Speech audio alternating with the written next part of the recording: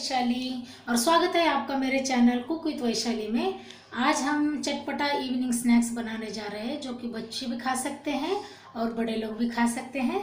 तो चलिए इसके लिए क्या चाहिए? देखते हैं। सबसे पहले लेंगे हम एक छोटी कटी हुई प्याज एक छोटा कटा हुआ टमाटर, थोड़े से हरी धनिया कटे हुए नमक, शुगर, ये सुहाना का चाट मसाला मैंने यहाँ पे लिया है। और एक बालाजी मसाला सेव मुरमुरा का पैकेट लिया है। तो चलिए देखते हैं इसको कैसे बनाते हैं। तो सबसे पहले हम क्या करेंगे, थोड़ी सी चीनी टमाटर के ऊपर डाल देंगे इस हिसाब से, और थोड़ा सा नमक भी हम टमाटर के ऊपर डाल देंगे ताकि उसका पानी छूटे।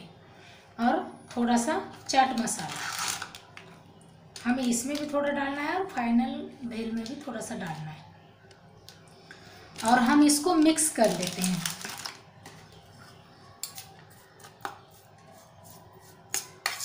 इस, इसको अच्छे से मिक्स करना है ताकि हमारी चीनी पिघल जाए।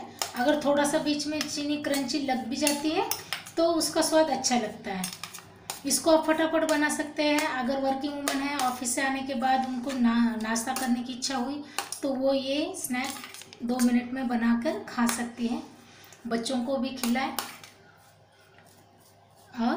ये देखिए, ये अब हमारा बन गया है। अब हम क्या करेंगे? इस पैकेट को फोड़ेंगे।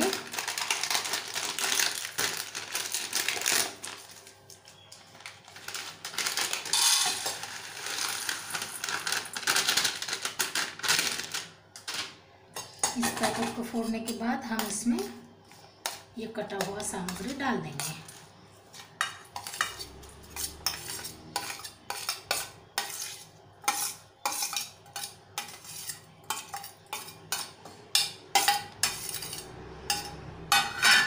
और इसको अच्छे से मिक्स कर लेंगे।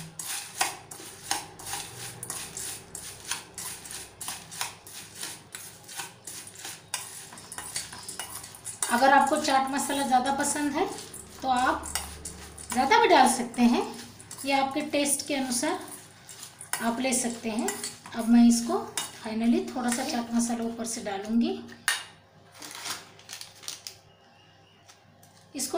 से ही स्प्रिंकल करूँगी।